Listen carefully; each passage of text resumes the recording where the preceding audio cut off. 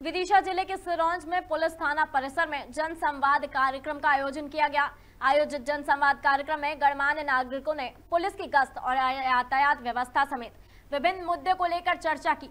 इसी के तहत ही नगर पालिका सीएमओ ने शहर की सभी समस्याओं को लेकर जल्द निधान करने की बात की। इसके साथ ही पानी की समस्या को लेकर उन्होंने बताया कि आगे बैठक कर एक दिन छोड़कर पानी की सप्लाई की जाएगी। सिरोंज से संवाददाता अक्षय सिंह अहरवार की रिपोर्ट। देखिए, आज थाना सिरोंज में, थाना प्रभारी सिरोंज के द्वारा जन संवाद का आयोजन किया गया था, जिसमें शहर के प्रथम नागरिक सहित गणमान्य नागरिक, पत्रकार बंधु और भी विभिन्न संप्रदायों के लोग उपस्थित हुए थे।